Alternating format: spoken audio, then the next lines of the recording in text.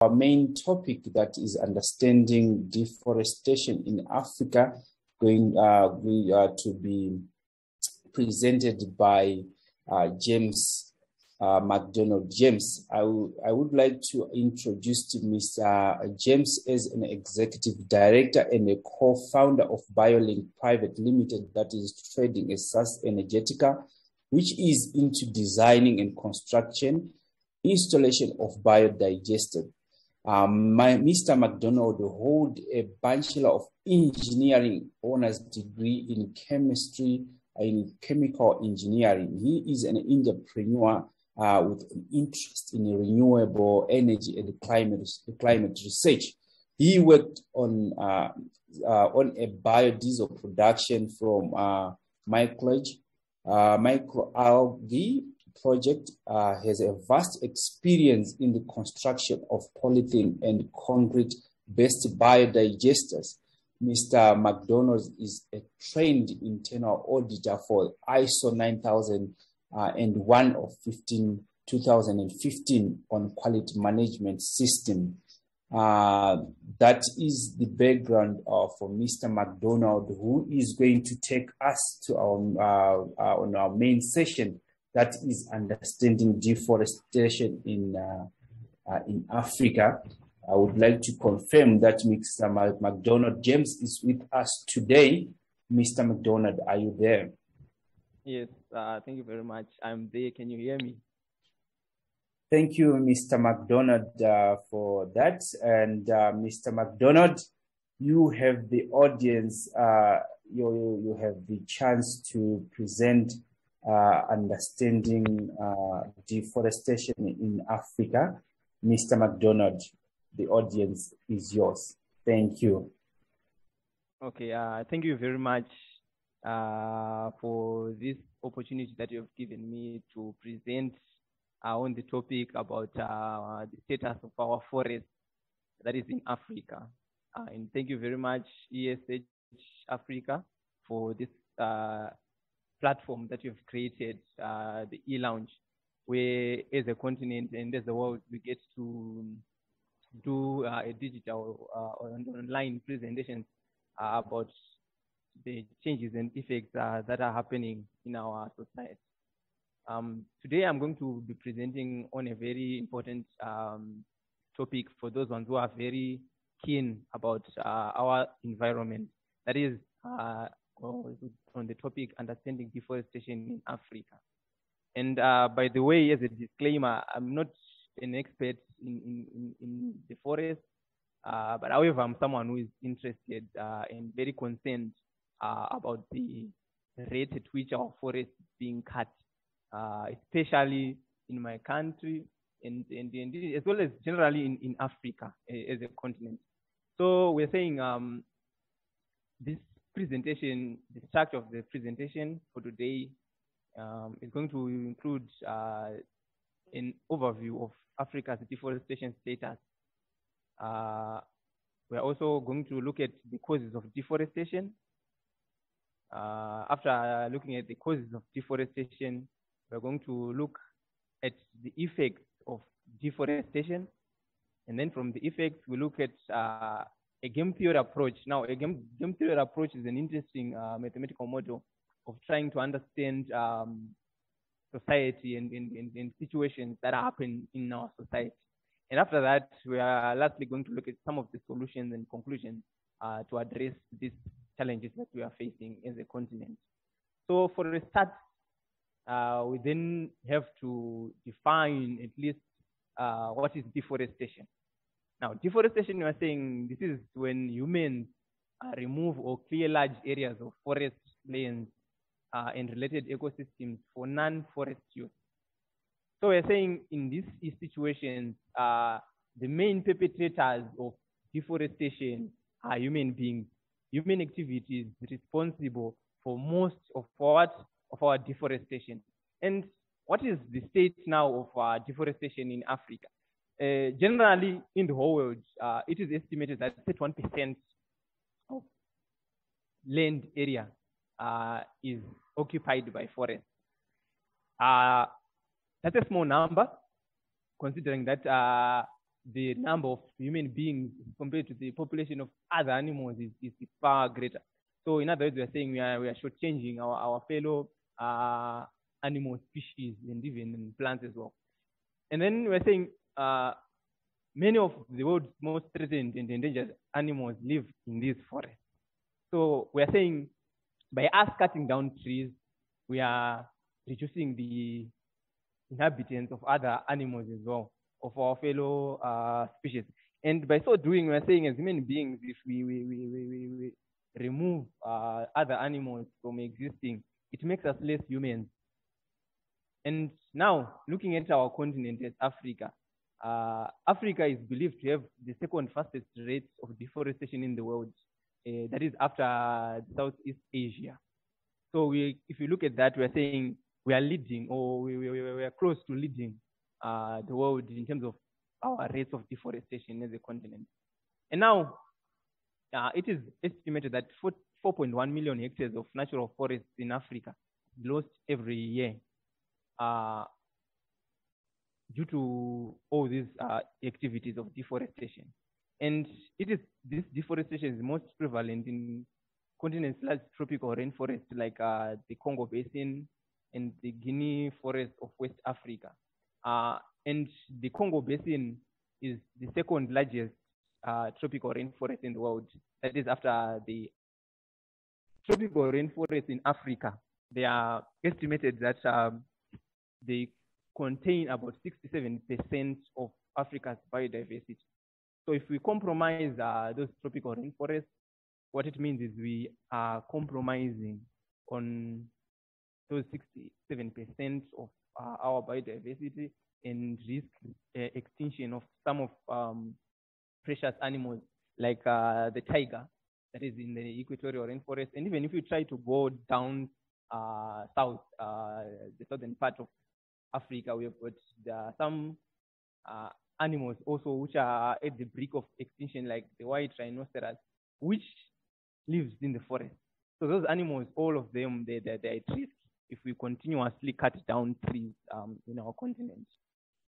And um, coming back uh, to Zimbabwe, uh, however, if we've got people from other countries in Africa here, uh, they can also open uh, after this presentation to enlighten us on the state of deforestation in their country. But I'm saying in Zimbabwe, uh, at least 6 million tons of timber are consumed annually for fuel, fuel alone, that is, and about 1.4 million tons uh, more than Zimbabwe's forest can sustainably provide. So we're saying we are cutting down trees uh, more than our forest can sustain. So what it simply means is we are simply going south. We are slowly depleting our forest by activities. And in Zimbabwe, again, uh, it is estimated that uh, we lose 330,000 hectares of forest annually, uh, which is equivalent to about 60 million trees a year, which is being cut down for fuel alone. Yeah, that's a very scary number. and these numbers, they are real. And we need to provoke uh, discussion and, and, and, action around these uh, concerns about our environment. And in Zimbabwe, we are saying, so in order for us to compensate for the cutting down of trees, we need to plant more trees. But however, we're saying the our planting rate in Zimbabwe is 8 million trees a year. And we are saying fuel alone is taking 6 million of those trees. And what about paper like what has been highlighted before? And what about even uh, another use of wood, which is uh, furniture, and all other uses that we can use uh, trees for. So we need to understand that um, our forests are being cut at a very, very alarming rate. And we have then have to go and look at the causes of deforestation, uh, mainly in Africa. So the main uh, contributor to deforestation in Africa uh, and it's believed to be about to take about 90% of our forest is mainly agriculture. So agriculture is the main cause of uh, deforestation, as well as new urban settlements as well. So that's the biggest cause. So we need to then look at our agriculture and say, okay, uh, in order for us to, to meet our food demands, what then can we do uh, to minimize the rate at which we are cutting down trees in order for us to get food? Uh, another cause uh, for deforestation is the construction poles and timber. Now, timber is used for many uses, uh, for furniture, it's used for um, uh, wood uh, as well, it's used for paper, like what has been highlighted before. And another cause for deforestation is uh, wood for fuel. Now, this is the main prevalent uh, cause for deforestation in my country. Uh, people cut down trees because, uh, because of this uh, load shedding uh, causes that are happening. People then resort to use uh, wood as fuel, which is a very big concern because they're saying in this time there are some other sources of energy besides trees, but however, trees are cheap. Um, another cause, again, for deforestation is tobacco curing. Um, so these are some of the, the, the, the, causes of deforestation, the main causes of deforestation uh, in our continent. And what are the effects then of uh, deforestation? One might wonder. Uh, the main challenge that we have, or the main effect that uh, deforestation is going to cause is climate change. And what's causing climate change? Uh, there are many factors now in which deforestation is uh, causing climate change. And these factors, they include, but not limited to what I'm going to mention here today. Uh, the first uh, effect of cutting down trees is global warming. Uh, it is believed, right, uh, that trees, they absorb carbon dioxide for their own photosynthetic processes. And however, we're saying the trees, they're acting as carbon dioxide sinks. And now we know that carbon dioxide, carbon dioxide is one of uh, the main contributors to global warming, the greenhouse gas. So if we cut down trees, what it means is we are reducing uh, the carbon dioxide sinks and we are having uh, more and more carbon dioxide being emitted into the environment. And that's a very uh, great worry because the more we are continuously cutting down trees, the higher we are going to have carbon dioxide being emitted into the environment, and the higher the temperatures are going to warm up. And it is believed that even the North Pole and the South Pole, they are melting because of global warming, which then leads to uh, increase in the sea level and affect those which inhabit around those areas. And also, deforestation affects um, the environment that is land through soil erosion. It also results in what we call river siltation because after soil erosion, I think uh, the soil is not strong enough so that when even rain comes, it just wash away the topsoil. And that topsoil then is carried to our water bodies like the rivers, which then results in what we call river siltation, where sand is depositing uh, at the bottom or the floor of the rivers or water bodies, so that the depth of uh, our water bodies then uh, decreases and then affects the ecosystem inside our rivers. And again, deforestation also causes loss of biodiversity. Because I think especially in the tropical rainforest where there is uh, a very large amount of uh, interdependent species living. If we cut down those trees, what it then means is that we are going to reduce um, the biodiversity, the biodiversity of the plants themselves, as well as the animals that inhabit in those um, forests. Uh, again, another effect of deforestation is desertification. Uh, this is prevalent, especially in the sub-Saharan area where the temperatures are very high.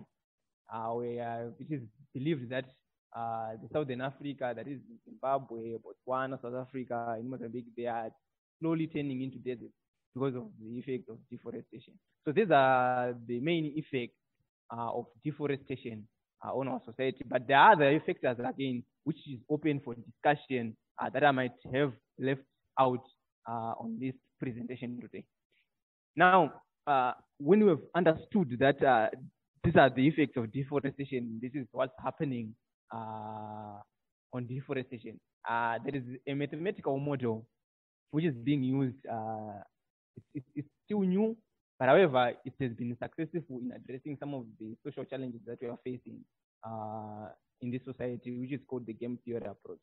Uh, and mainly for this purpose of for the purpose of this discussion, I'm going to be focusing on what is called the stag hunt scenario or a dilemma, uh, which is another sub sub sub sub topic uh, on that game theory approach.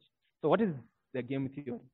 Now, the game theory is a branch of applied mathematics that provides tools for analyzing situations in which parties called players make decisions that are interdependent. So we're saying uh, we are all well versed with games, right? And the purpose of a game is to win. And we're saying uh, in the game theory approach, we are having players. And these players, they are making decisions interdependently. And it is assumed that each player is self-interested uh, and that their interests are reflected on a preference ordering. So we're saying people are going to have uh, their own preferences and they're going to be self-interested.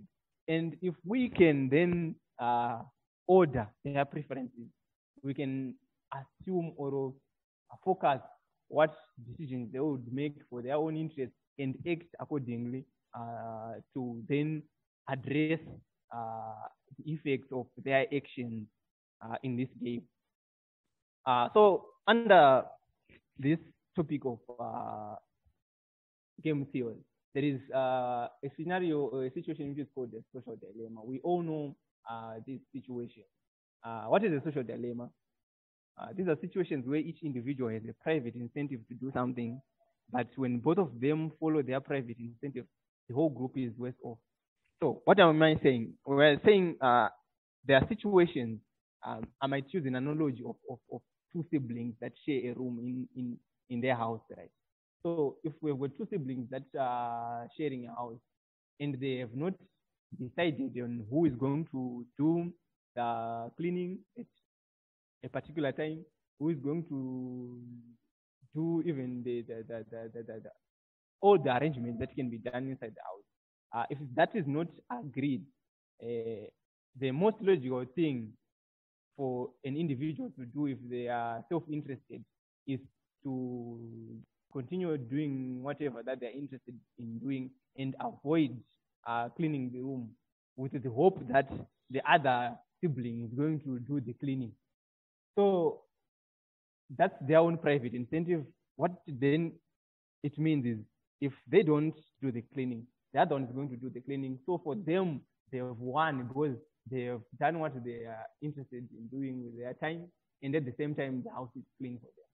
However, this situation becomes interesting when both parties then decide to follow their private incentive and decide not to do the cleaning. So what then means is the house is not going to be cleaned, and at the end of the day, debt is going to continuously pile until the house has become a healthy hazard. Why? Because no one wants to do the cleaning because it's, it's advantageous for them in such a situation. So this social dilemma uh, can also be related even to the conservation plans that even our nations can agree to, to, to follow. Let's say in Africa, countries decided to, to, to go green, right? And uh, avoid use uh, fuel and maybe, let's say, go paperless and assign cities. So in such a situation, uh, the countries involved, we can say these are players. And we assume that these several players, uh, they cooperate and agree to share the cost of uh, this conservation plan. Now, suppose that the defection of one player would benefit them by reducing the cost uh, without any detrimental effect uh, on the overall conservation goal. So, if they don't follow that agreement and the other, the rest of the group follows, uh, their effect is not going to have much effect on the conservation goal. But however, if everyone now uh, defects, it then affects uh, the overall conservation goal, which is the situation that our nations are facing uh, in this forest. And the forest is, is, is very interesting because it falls under a category of what are called common pool resources. Uh, in conservation context, uh, a common pool resource is a natural resource which is available for consumption from which it is difficult to exclude or eliminate users. Um, for example, fishing grounds, uh, forests, wetlands, grazing lands, uh, etc. What, what, what, we are saying is um, a common pool resource basically in legal context is basically an area uh, which is neither uh, owned privately by anyone or by institutions, uh, but is jointly owned by the community. And we cannot restrict who goes into the forest and get wood. We cannot restrict which company is going to go into the tropical rainforest and cut down trees. So then if we continuously uh, do this uh, action simultaneously, we are following our own private incentives. Each organization is trying to, to, to, to then get more of this uh, common pool resource. It leads us to a situation which is called the tragedy of commons. Now, this happens when a common pool resource is being uh, used and uh, being unchecked. So what is the tragedy of common? This is a situation where each user in a common pool resource independently attempts in self-interest to maximize his or her gain of the common pool resource, contrary to the common good of all users, causing therefore depletion in the resource through their uncoordinated action. So we are saying if people continuously cut down trees and they're not being monitored, uh, every individual is trying to maximize their payoff or their benefit from the forest. So what it means is they're going to compete for this common pool resource until uh, the forest is now cut down to a state where it is now unsustainable. The, the, the most logical thing for to do or the most logical action for each player in this game is to default or to not follow the conservation uh, goal.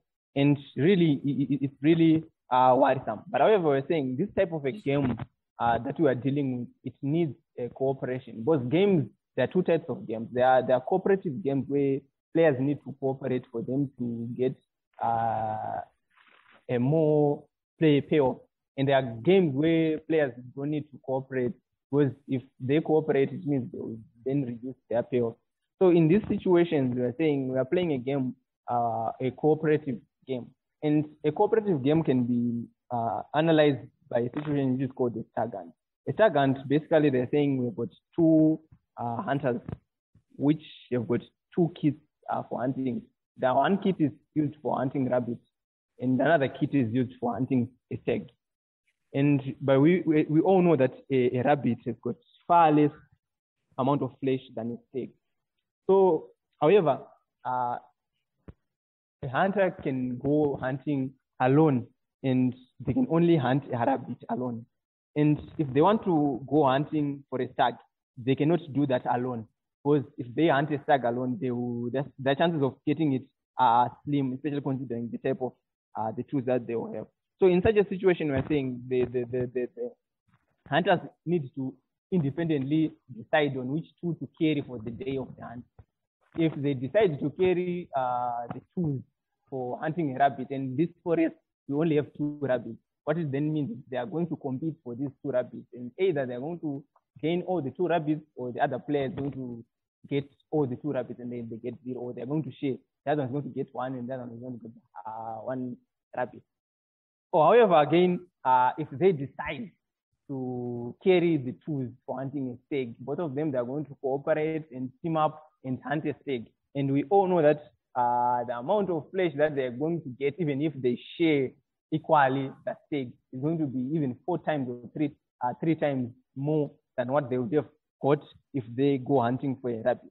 So in such a situation, uh, the hunters then need to cooperate in order for them to get more benefits.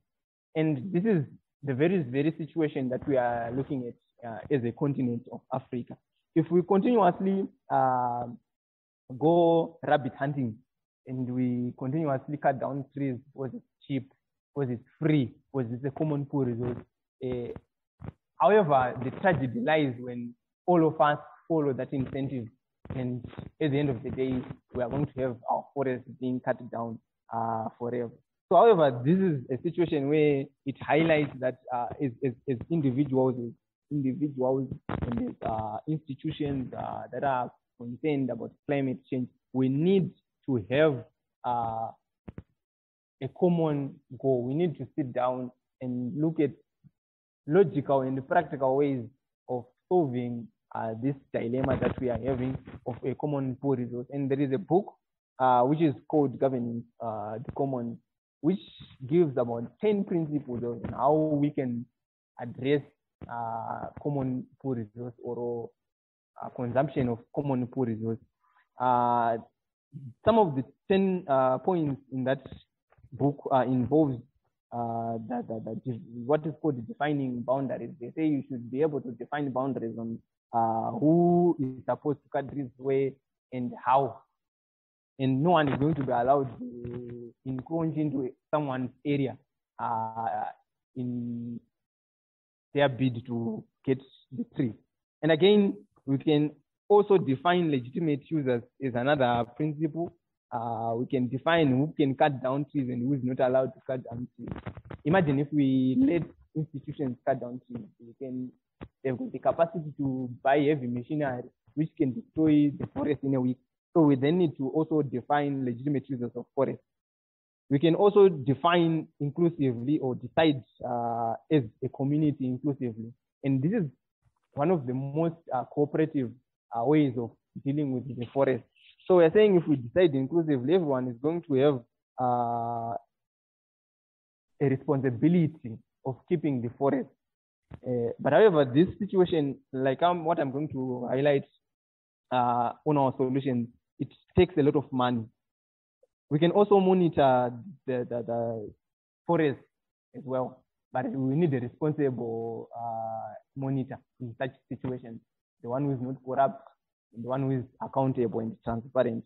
We can also share knowledge as countries, as, individuals, if we have people who are succeeding in conserving their forest, they should be willing to share, and people who are failing or struggling should be willing to again uh, learn from those who are making it uh, in conserving the forest.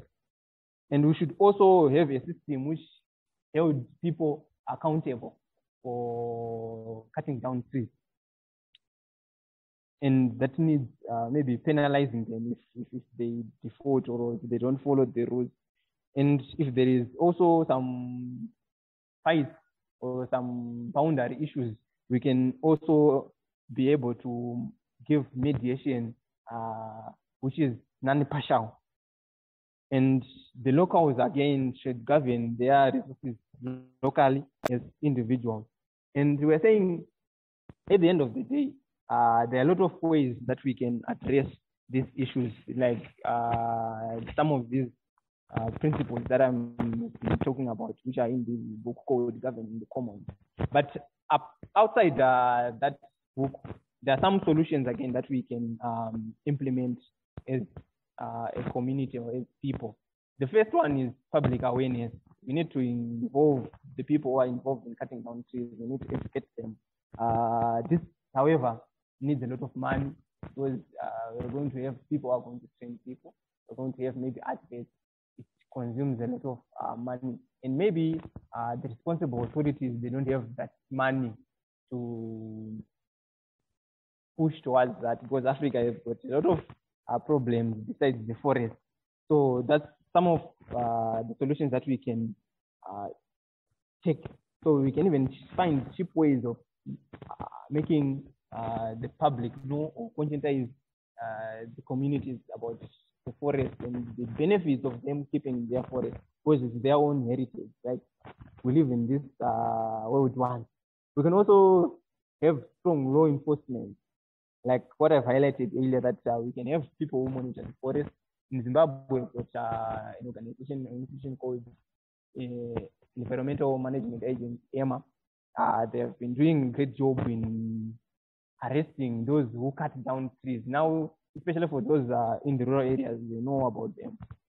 But however, people still continue to, to, to circumvent uh, their effort to, to, to try to protect the environment. We can also promote a, a culture of planting trees. There are some organizations uh, that are now being involved in planting trees in Zimbabwe, but the National Tree Planting Day. I think we need to commend uh, our, our, our, government for setting up such a day. It's a very important day uh, as a nation because people get to plant a lot of trees um, on that day. But however, tree planting should be done uh, every day or occasionally if we are to maintain the status of our forest. We can also substitute uh, sources of energy uh, that are renewable right? People use uh, wood for fuel, for heating, for cooking. We can have greener options uh, like solar. Solar has been used successfully in Africa. We've got a lot of heat in Africa. Let's take advantage of that heat and turn it into energy that we can use to power our system and save the forest. We can also uh, use wind again for those especially who are close to the shores.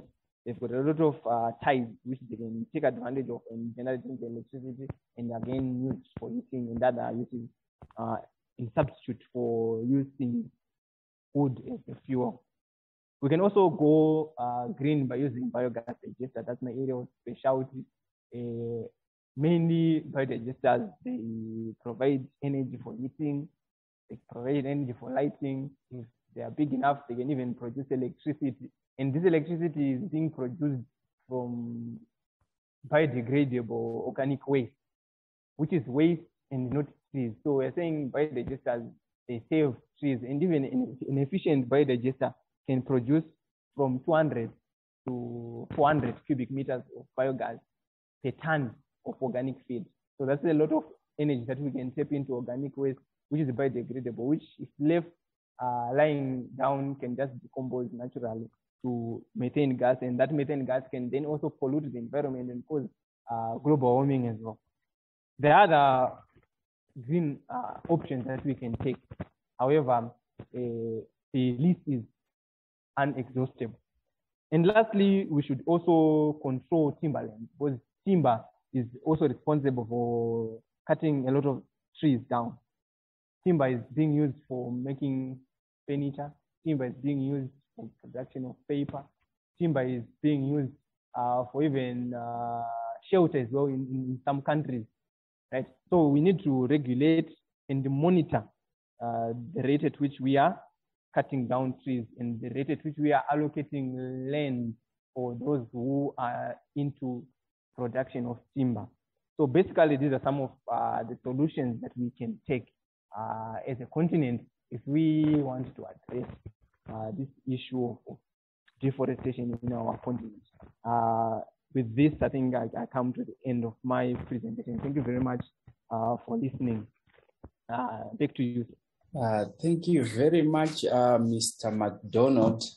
To those who are still joining us and who have joined us whilst we are continuing with our 18th episode, we that was Mr. MacDonald who was presenting on the understanding of deforestation in Africa. Uh, Mr. MacDonald, in his first presentation, he mentioned, uh, he actually defined what is deforestation and uh, what uh, causes deforestation, what are the effects of deforestation, and uh, what are the possible solutions uh, to be uh, employed by us as Africans to minimize the uh, uh, act of deforestation. Uh, from my understanding, that Mr. MacDonald mentioned that the anthropology um, actions are the ones that are on top of uh, influencing deforestation in our continent, uh, that is Africa. Uh, ladies and gentlemen, we were listening to Mr. MacDonald and his presentation. I do believe across Africa, we have different questions, we have different contribution and comments towards what he was presenting and towards the issue, the each issue of Africa as we continue to dig our own grave and uh, as we continue to deplete the resources that are supposed to be used by the future generation and that is our children.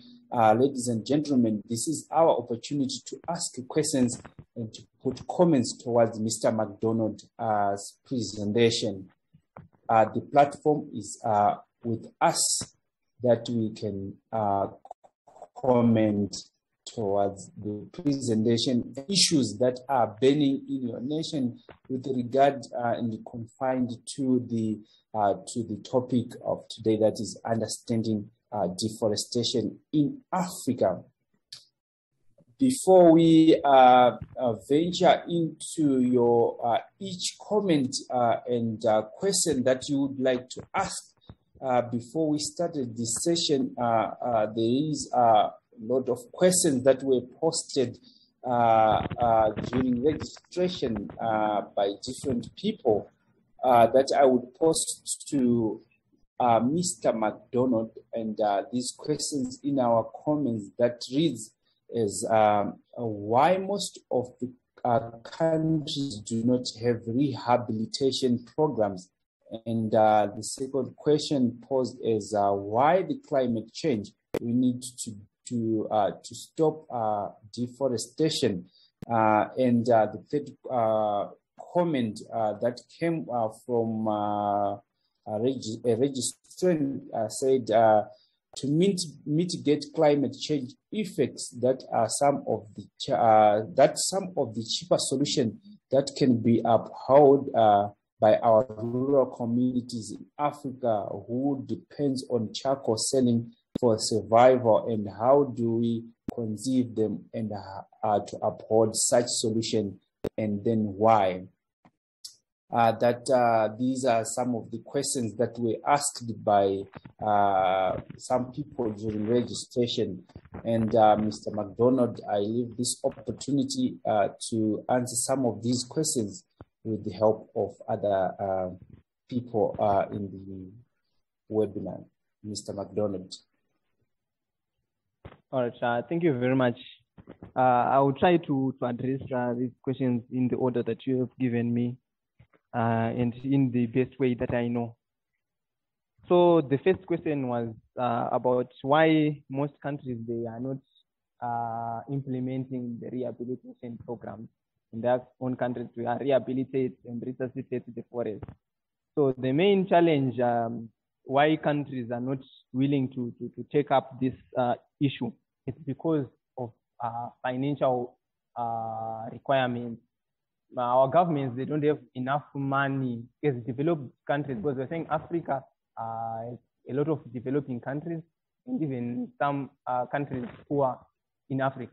So therefore the governments then uh, fund tree planting and and, and, uh, monitoring of forests. They don't have that financial power. So they then divert money towards some of uh, issues that need uh, money, which are immediate, which also gives them uh, a, sense of uh, power as well. So financial issue is the main uh, challenge. But however, we're saying if our governments don't have money, what are the options should they take? Because even if they don't have money, they, the forests are being cut. There's another concept which is called debt for climate swap. So a debt for climate swap, we're saying a country uh, which has got a debt to, uh, to, to, to, towards another data. Uh, what they can then agree with the data is that uh, instead of that country paying that money, the data can forgive the debt to that country uh, on the condition that that country um, use or fund an equivalent of their own local currency towards uh, saving the environment, towards activities that are climate related. So what it then means is they will then have to pay uh, the debt with their own local currency for their own benefit. So it's a very important uh, way in which a nation can address uh, the issue of climate change uh, if it is financially incapable of uh, investing in deforestation. Like even, for example, recently in South Africa, I heard that uh, the government was given a lot of money, about 146 billion equivalent uh, rands, that is, uh, towards uh, resuscitating Eskom, towards it being becoming uh, more and more greener. So they are going to be forgiven a debt of about 146 billion. That's a lot of money. Uh, however, but they are investing it in themselves. So is another way how countries can can address that issue. And again, uh, on another question as to why climate change, I think I don't know if it was a question, but I think, um, but however, it's, it's written why. But it, shows uh, a lot of concern, right? To, people are, are, are, are, seems like they're ignorant about uh, the effects of climate change. So are main uh, way in which we can address this is to educate people about these effects. If we don't educate people, people are going to blindly uh, cut down trees. And uh, the, the last question was, uh, what can the people in the rural areas do? What are the cheaper options that they can do in order for them to address their energy concerns at the same time also get revenue? So in order for them, there are a lot of cheaper uh, ways of getting energy. Like what I highlighted earlier, there is they can pro construct biodigesters. Biodigesters, they're simple to construct and they produce reliable source of energy because they don't have intermittent problems, right? They are, you can monitor the amount of waste that you feed, the same amount of waste that you can, amount of energy sorry, that you get. So if you feed more, you get more energy. If you want more, you just feed more energy, more organic waste. So that's some of the cheaper options that they can rely on. They are very cheap biodigesters nowadays with the advent of um, uh, the advancement in, in, in plastics. Now people can construct uh, plastic biodigesters which are cheaper than concrete ones and still meet their energy concerns in the, at a raw setup. And the good thing about a raw setup is that they have got a lot of waste. Uh, they've got cattle, they've got goats, they've got sheep, and, and all that. So I think they can uh, combine those uh, organic waste and feed into their biodigesters. And at the end of the day, we're saying they would then meet uh, their energy content. And however, there are other issues uh, about uh, employment, which was also embedded uh, in that question. Now, if we are constructing biodigesters, it means we are creating employment. And by creating employment, I think people can get a decent living from constructing biodigesters. Even solar as well, they can get into solar uh, and, and, and, provided that they are given enough uh, training towards uh, such initiatives. So basically, those are some of the ways that we can address uh, these questions. Uh, I think thank you very much. If there's anyone in the audience uh, with better knowledge, they can share as well with us on those questions. Thank you very much. well, thank you very much, Mr. MacDonald, for answering those questions. Uh, is there anyone who have a comment and contribution towards understanding deforestation in Africa? Well, from my end, uh, it looks like uh, everybody's attended, but um, I would like to pose a question to everybody who is uh, on this uh, platform that what are you doing as an individual to uh, minimize the uh, deforestation in your local or in your nation, in your country, and what are uh, action plan that you are taking as an individual to uh, minimize or to mitigate um, the effects of deforestation across across um, uh, Africa. Yeah, I have um, uh, from my chat question. I have um, a, a, a, question. Uh, we start as a comment from uh, Mukanwa uh, is uh, saying coming from a marginalized rural community of Zambia, where uh, survival of our people are all dependent on charcoal selling. How best can we achieve cheaper solution for mitigating climate change uh, effects as a result of deforestation? Uh, that is Mukangwa from Zambia asking a question, Mr. James uh, you are here to answer the question. Okay, I think it's similar to the, that question that I've um, answered before that was talking about uh, the marginalized people in the rural areas. Because they're saying people in the rural areas, they don't have um, a lot of uh, activities that generate income as compared to for those in the um, suburbs in town. So again, I will answer it in the same way that uh, some of the cheaper options for meeting energy demands is using biodigester. For the biodigester is basically a unit that converts uh, organic waste into a combustible gas. And we are saying by it having to be fed with waste, waste it can be, especially at a rural setup, can be as good as uh, free, right? So they can implement uh, construction of biodigesters at rural uh, communities for them to get what? Uh, energy. And by construction of biodigesters, what, what it then means is people then need to, it also saves the environment. Because we're saying charcoal in itself, uh, it's a fossil fuel, right? Uh, provided that maybe they, they, they, they, they've, got, they've created uh, the charcoal at, um, artificially, maybe by cutting down trees and going through that process of creating charcoal. But however, we're saying again, it's also a burden to our trees as well if you are manufacturing that that charcoal. And even in Zimbabwe, I think there are people that I see coming from Zambia with, with this charcoal, selling it in Zimbabwe. So we're saying uh, I think it must be a good business in Zambia, uh, this charcoal business. So I think there's need to to substitute uh, this charcoal by maybe having other options uh, communities where people can engage in communities, uh, community engagement schemes where they can substitute uh, production of charcoal with other more green and sustainable issues as well. I think yeah, those are some of the ways that we can address that issue. Thank you very much. Uh, thank you, Mr. James, for addressing that um, um, uh, uh, that question. However, from my side, I see um, Mr. Tichaona Mungazi, your hand is raised. Uh, you can, uh, you have uh, the audience. Okay, uh, thank you. Uh, my question goes to Mr. MacDonald, but I would like to start by highlighting just a few issues.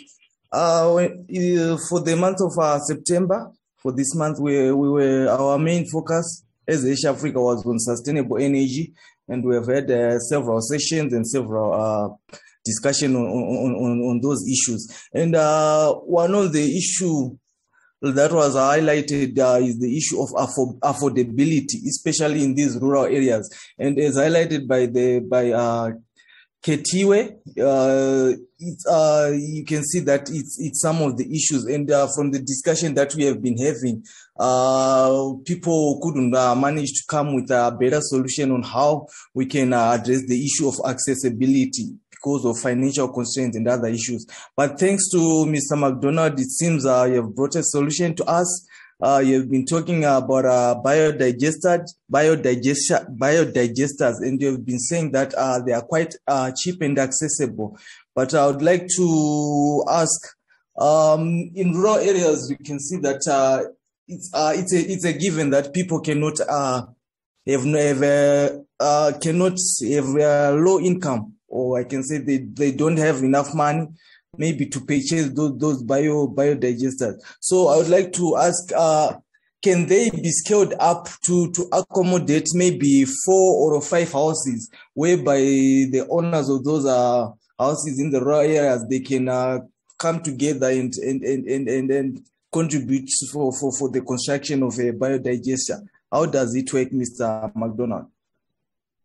Okay, thank you very much, uh, Teach. Uh, okay. It, depends with the, the, the location and uh, the, the way in which the communities are set up. That is how close are these uh, households.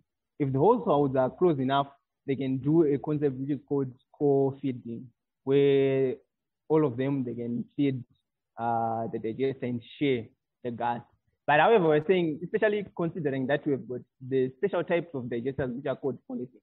A polythene digester is, is cheaper than you can imagine. However uh, they just need uh, people to, to be taught on how to, to construct them. Uh, we've got some organizations that have been making uh, effort in trying to address or to, to, educate people about these types of digesters. Uh, even in our organization, Violence or Sustainability, we also are into construction of polythene-based biodigesters. They are cheaper than the concrete ones. Even our clients, sometimes we advise them to take the polythene. Because we get the same result, but cheaper. And there are also concerns about the durability of, of plastic and all. Plastic is, is, is cheaper and uh, if kept safely, uh, we can have even plastic nowadays, which is constructed, especially uh, if it's UV treated, which can uh, last up to a decade. So we're saying these are cheaper options, right? Even an individual at a raw setup can afford to have a 10 cubic uh, polythene based by the that they are feeding, that they're getting waste. Or even some non-governmental organizations, they can, who are into climate research, they can pump money towards a construction of polythene biodigesters. Trust me, with a budget of about 25,000 US dollars, right, an NGO can build a lot of polythene based biodigesters and give that to a rural community, right? By so doing, we are saving the environment. Why? Because indeed, uh, people in the rural areas, they don't have financial capacity maybe to even have even that polythene biodigester. They might not have that financial power. So they will just resort to using what? Firewood. So I would, I would, I would also uh, lobby for the government and uh, NGOs which are into climate research to fund uh, biodigester efforts. Why? Because it's cheaper. It's far cheaper than all of the other ways of, of, of, of um, getting energy from renewable energy like solar and so on. Yeah, thank you. I think I've answered you. I don't know if you are answered well. Yes, uh, yes, I'm answered. Thank you.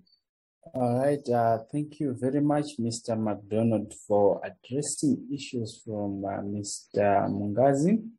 And I do believe uh, you are an expert in alternative energy as, um, as it is one of uh, a solution to uh, uh, curb up the effects of deforestation. Mr. MacDonald, thank you very much for, for that.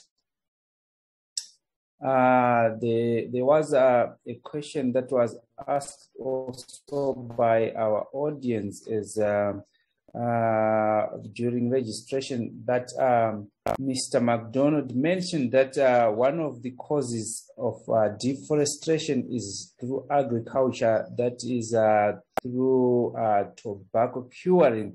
the registration asked that are there alternatives for for, for us to use as farmers who are in tobacco um, agriculture that we can use for curing um, our product. Mr. MacDonald. Right. Uh, the registrant was asking, are there alternatives that can be used other than firewood or other than forest to cure uh, tobacco in uh, in their farming area? Uh, Mr. James, do you have uh, uh, an answer to that? All right. Yeah. Thank you very much.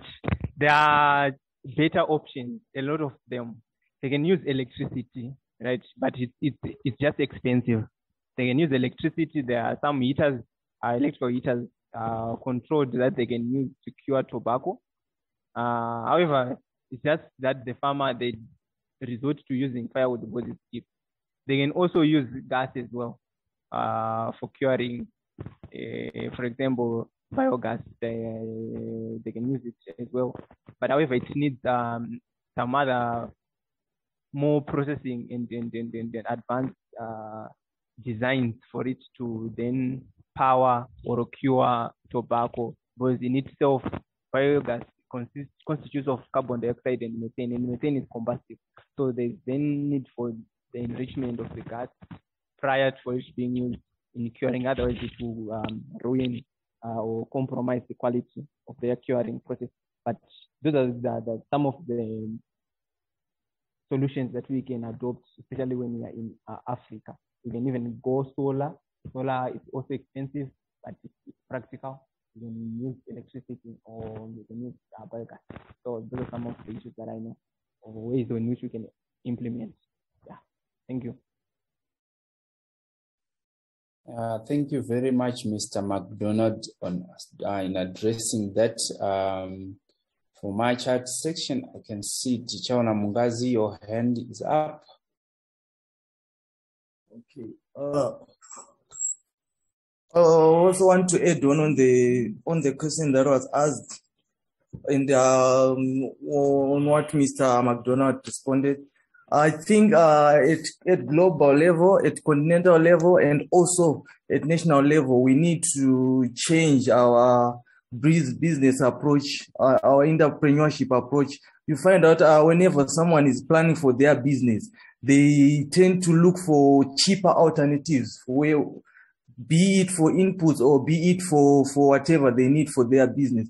But uh, there is a common saying that everything that is cheap turns out to be expensive. And as we can see, the more we resort for using uh, for firewood, the more we resort for to using uh, these cheaper resources, the more it becomes costly to us uh, indirectly or directly, as we can see with these issues. So it's something that I would like to pose on to everyone in here that uh, we need to promote uh, green uh, innovation and green entrepreneurship. Let's look for the best alternative that will not affect our environment, that will not affect the future, that, that is sustainable. So sustainability is actually a main issue on on these things that we need to consider whenever we are planning for our business, whenever we are uh, planning for, for, for, for anything. That is what I wanted to highlight. Thank you.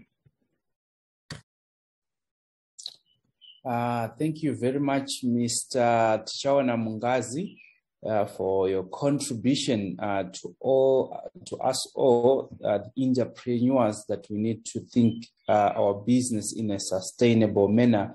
That is to plan things that are going to work for the future generation.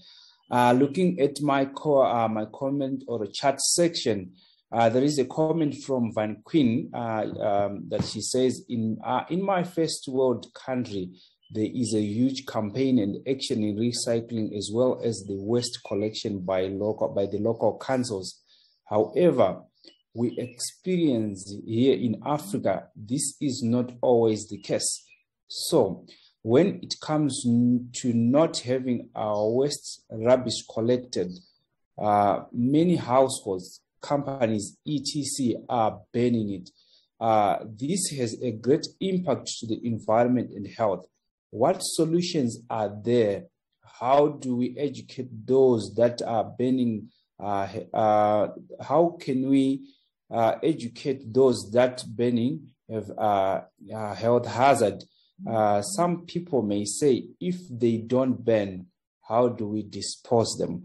Uh, well, that's, uh, uh, that's, those are questions from uh, Van Queen uh, with regard to today's presentation. And uh, also, she is mentioning a lot about waste management plan, waste management plan al- along the local councils in Africa and at household level. And the question, the questions that she raised uh, so sensitive. Uh, I will leave this to either Mr. MacDonald or the platform to answer uh, what are the solutions available uh, to dispose our uh, our waste rather than burning them, and how do we minimize the health hazard of burning our um, waste? In Zimbabwe, I'll use my experience in Zimbabwe. In Zimbabwe, I think nowadays the people who are into collecting, uh, into waste collection. I think it's, it's slowly becoming a good business in, in Zimbabwe, where people are coming and then roaming around collecting PET bottles uh, and other plastics for resale. So we can sort, I think the, the, the, the, the, the, the main, the first stage uh, towards uh, this waste management uh, problem is to teach people to sort their waste. If they've got organic waste, they can sort that organic waste and then use it maybe in their gardens as, as, as manure.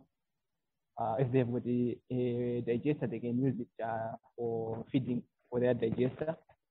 And now we've got metal uh, waste, metal waste, they can sort it and resell it for those who do recycling, like what uh, Vani highlighted in um, uh, overview.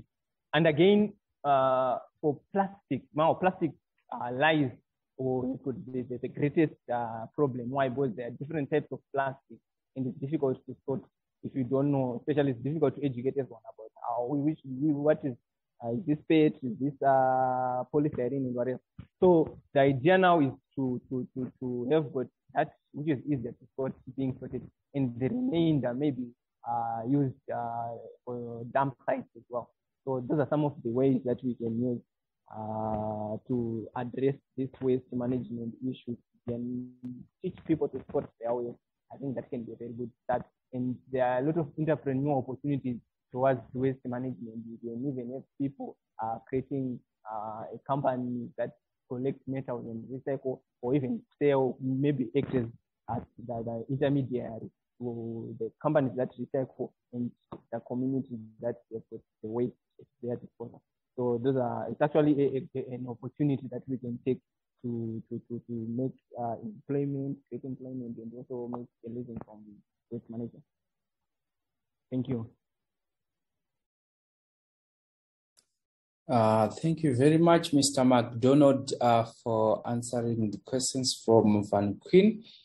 Um, any other contribution towards what uh, Van Queen have asked from the floor? Mm-hmm. All right, I do believe the answer have made contentment to um. Van. Uh, thank you very much, Ms. Uh, Van. Uh, and uh, there is a comment from uh, Fungai Mpunga uh, that he is asking that um, are there other experiences or observation in other countries in terms of uh, deforestation?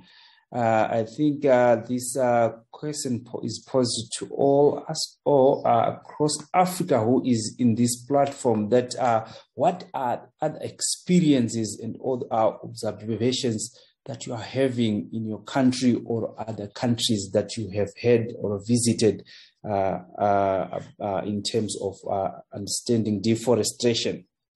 Um, well, I do believe uh, everybody have got uh, different experiences in terms of deforestation uh, in their own country or other uh, countries that they are working in or they have visited. Um, I'm, uh, I'm with uh, from the chat comment uh, that was asked earlier about uh, uh Zambia, where people are surviving from uh, selling charcoal.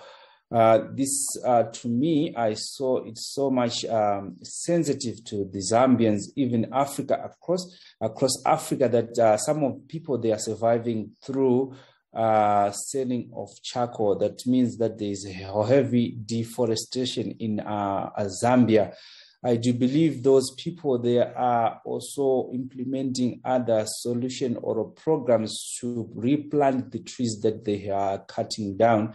And I do believe there are heavy awareness campaign across Zambia uh, in terms of deforestation and introducing other survival method other than uh, deforestation and use of fossil fuel in Zambia. Um, uh, ladies and gentlemen, I would like to thank you very much for uh, the contribution. However, the uh, our platform is too open for discussion. We can continue to discuss, ask questions regarding uh, uh, deforestation in Africa and other opinions and thoughts that you have to be discussed in this platform. Uh, well, I I believe everyone is contented and uh, everybody is understanding the subject matter um, under discussion. Um, Mr. James, do you have any closing remarks uh, towards the presentation of today, Mr. James? All right, uh, thank you very much. I think in in conclusion, um, what we can uh, do as nations is to have people who are interested. There is actually a very interesting phrase uh, which says that if you don't like the situation that you are in, change it. You are not a tree. So what it reflects is that uh, trees they are stationary. They don't move. if a tree is here, it's going to stay there forever, right? So it takes human effort to cut down those trees.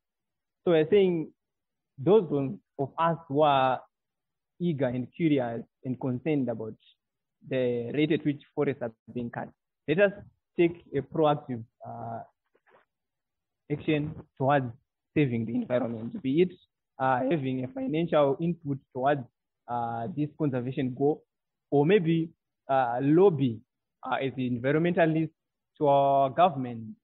Uh, let us also lobby to the responsible authorities for them to have their other part of uh, attention towards uh, the environment so that we save the forest. Because there is a point where we are going to get to a slippery slope where it's going to be irreversible to reverse this uh, rate of deforestation and uh, the implications that, that, are fatal. So I think in, in closing, let us adopt uh, actions that are sustainable. And actions that are sustainable, they allow us to meet our own needs, but not compromising the future generation ability to meet their own uh, needs. So let's save the forest. And this issue of deforestation is real and needs our action as individuals. I think in that, I thank you very much. And thank you for listening and uh, for participating in this webinar. Uh, thank you very much for the opportunity, ESH e-Lounge. Thank you very much. I think uh, Well, Mr. MacDonald, thank you very much for taking us uh, time with us in presenting burning issues in Africa. Uh, thank you very much, Mr. MacDonald, for your presentation and your contribution. It is such a, an honor to have you. Please stay blessed. Um, on our notification and announcement, uh, um, we are uh, next Friday, that is our, uh, this coming Friday, we are going to have Mr. Stephen Ruvire, who is going to present us on topic that is working at heights. And uh, I do believe we are going to have uh, each other at the same uh, time uh, on this platform. Um, it was a great presentation, uh, Mr. MacDonald. Thank you very much. And um, on the next session, we are going to have uh, Stephen who is going to present us on the working at heights. Um, and uh, on our October issues, we are going to have um, a theme that is mining and construction safety. And uh, everybody is welcome to, to our platform if you have itchy or any issue to present or any issues to talk about, please email us on the uh, uh, emails provided or visit our website or even join our WhatsApp group uh, on the numbers that are displayed on the screen and also contact us on our social media that is also uh, displayed on the screen. You can call us on those numbers that are also displayed on the screen. Uh, ladies and gentlemen, it is worth to know that um, we are changing our time or our webinar presentations uh, starting next week as vindicated on the screen that uh, Greenwich mean uh, time that we, uh, we, are going to start at 8, 8 a.m. up to 10 p.m. uh. On the West Africa that we are going to move a little bit that we are going to start at 9 a.m up to 11 a.m. and on the Central African time that we are going to start at 10 a.m. up to 12 um, uh, p.m. and the East Africa we are going to change uh, also our time starting that is starting from 11 a.m. Uh, up to uh, 1 p.m. Uh, this shift of time that is uh, a concern from different uh, friends that are joining us as ESH Africa across the, uh, Africa that are concerned with uh, the times that we are starting and ending up our webinar. And all those times that has been pub- uh, that is on the screen are to accommodate everyone and the comfort uh, in their comfort zone so that we can have each other and join each other uh, as we discuss burning issues of um, uh, of uh, of uh, ESH Africa. on we are going to have a this uh, this coming this end September, we are we are launching up in a magazine as ESH Africa that is going to be published uh, this end of September. That is uh, this Friday. Uh, please, you are all encouraged to subscribe the uh, the digital magazine that is being published uh, for September issues. And also, uh, we are going to uh, the magazine titled Sustainable Energy Synopsis in Africa. And on the coming on this coming month of October, we are going to launch another magazine that is going to have issues of Africa. You are free to contact us if you have an article or any issue that you need to write, any advert in relation to uh, environmental health and uh, safety across Africa that you need to advertise through our magazine. You are free to contact us on those uh, platforms that we have provided. That is phone number, WhatsApp group, and uh, email address. Uh, you are very free, ladies and gentlemen. Contact us as we present issues uh, that are concerned with environmental health and safety.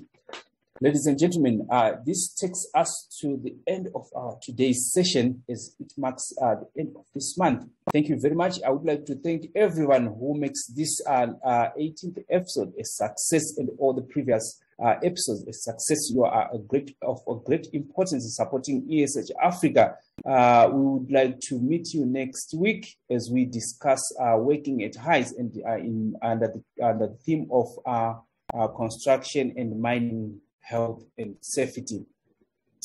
I would leave this time to everybody to turn on their cameras as we uh, um, want to take a group photo for everyone who is in this uh, who is in this uh, platform. Um, I can see everyone who is here and uh, please, I would um, uh, give just three seconds for to turn on their cameras as we try to take a group photo. I would ask here, um, Tichawana Mungazi also take um, uh, a photo for us so that we can keep it in our gallery. Uh, I would ask everybody to say cheese as we take our group photo is